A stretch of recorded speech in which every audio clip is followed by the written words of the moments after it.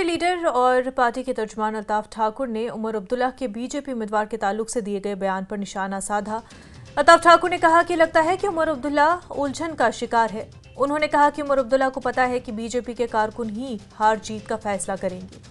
उमर अब्दुल्ला को बेवकूफ़ों की जन्नत में रह रहे हैं। नेशनल कॉन्फ्रेंस और पीडीपी के अलग अलग चुनाव लड़ने पर अल्ताफ ठाकुर ने कहा कि ये सब गुजशत सत्तर सालों से जम्मू कश्मीर के अवाम को बेवकूफ़ बना रहे हैं।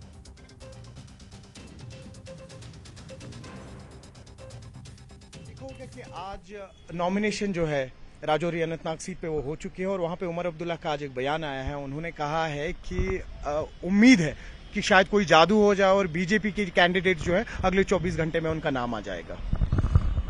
देखिए, उमर साहब को इतनी बेकरारी क्यों है? ये कंफ्यूजन क्यों है उमर साहब में? बेसिकली उसके पीछे एक वजह है और लॉजिक है कि जीत का जो फैक्टर है, वो डिसाइड करना है भारतीय जनता पार्टी के वर्कर को। क्योंकि पता है, उनको जानते हैं, पिछले पाँच साल से कंटिन्यूसली हमने, चाहे जम्मू वाला साइड हो, चाहे कश्मीर वाला साइड हो, बहुत ज़्यादा हमने मेहनत की है और काम की। और मैं दावे के साथ ये कह सकता हूँ, Anantnag Rajouri parliamentary constituency seat जो है, उसमें जो जीत का फैक्टर होगा, वो भारतीय जनता पार्टी का वोटर ही डिसाइड करेगा। इसलिए उमर साहब को थोड़ी सी जल्दबाजी भी है और फ्रस्ट्रेशन लेवल भी हाई हो चुके हैं, इसलिए बार बार वो बीजेपी के कैंडिडेट्स को अनाउंस करो। भारतीय जनता पार्टी तो अपने आप में कॉन्फिडेंट है और हम बड़े आराम से बैठे हुए, लेकिन अगर कहीं बेकरारी और जल्दबाजी है तो वो उमर साहब को थोड़ा सा वेट करना चाहिए, देखना चाहिए भारतीय जनता पार्टी कौन सा स्टेप उठाएगी।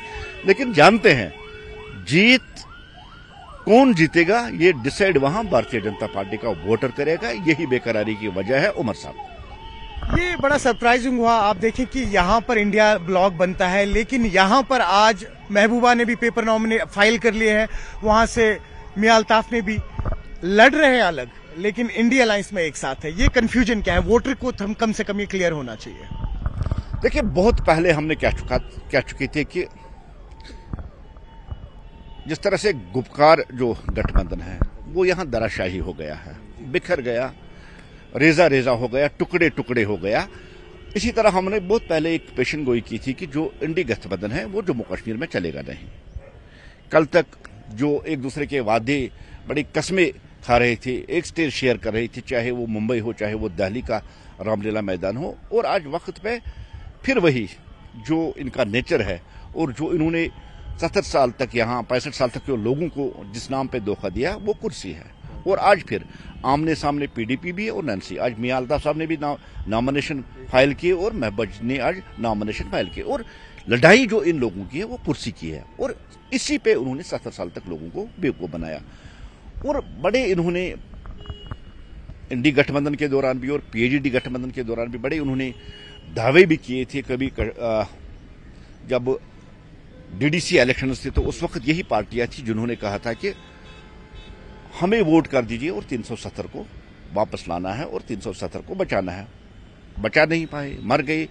आज अगर आप महबत जी का भी स्टेटमेंट देखेंगे वो कह रही है कि हमें जमीनें बचानी है हमें यहाँ बचानी है। मैं उनसे सवाल करता हूँ। देखिए जम्मू कश्मीर की ज़मीन किसी ने कांधे पे उठा के नहीं ली और न कोई लेगा और न कोई लेगा।